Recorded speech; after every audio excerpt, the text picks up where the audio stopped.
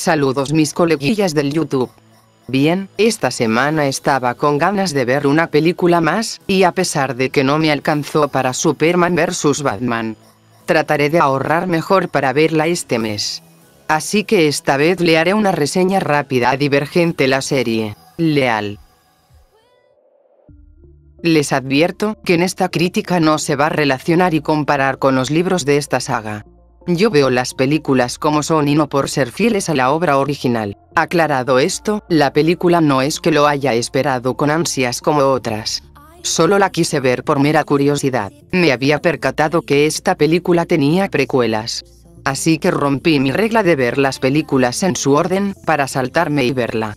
¿Y cuál fue mi resultado sobre esta película? Bien, comencemos a darle un breve resumen. Después con lo acontecido de la anterior película, Tris debe escapar con cuatro e ir más allá del muro que encierra Chicago. Por primera vez en la historia, van a salir de la única ciudad de la familia que han conocido a fin de encontrar una solución pacífica para su ciudad. Una vez fuera, los viejos descubrimientos rápidamente se vuelven sin sentido con la revelación de nuevas verdades impactantes.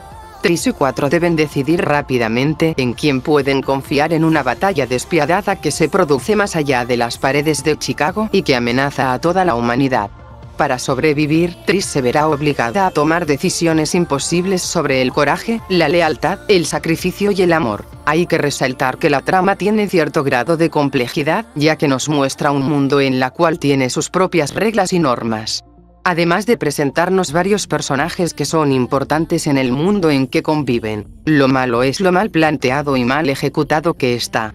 Hubo varios huecos argumentales y algunas escenas forzadas que no dejarán disfrutar más allá del atractivo artístico. Los personajes como Tris o 4 no están bien desarrollados y del resto son totalmente olvidables.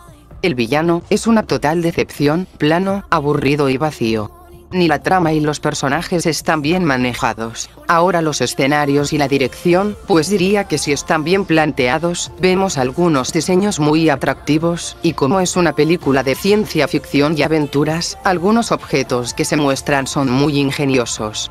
Algunas estructuras tienen un encanto futurista y que puede llamar la atención algunas escenas de acción están bien, y otras, en la que tiene que mostrar las escenas sentimentales no es tan mal, aunque hubiera sido más entretenido ver más escenas de acción. La banda sonora, que fue regular, cumple su cometido de acompañar las escenas en cada momento de la película.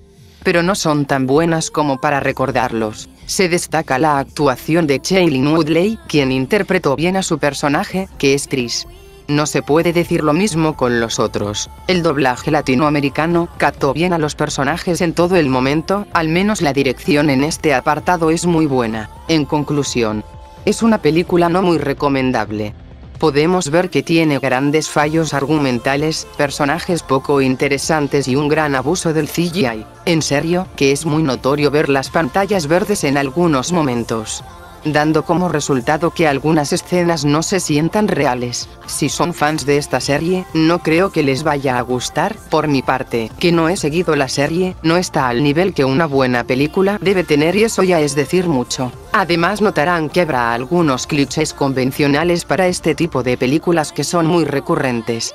La verdad le tenía buena fe en el inicio, ya que la idea y toda la historia es muy interesante, pero como ya lo dije, no fue bien ejecutada y quedó como una película más del montón. No les recomiendo, no como para fans de la serie, o si quieren verla, mejor compren su versión pirata o veanla en internet y lo califican mejor, por mi parte este ha sido mi crítica. Y nos vemos para la próxima mis coleguillas del YouTube.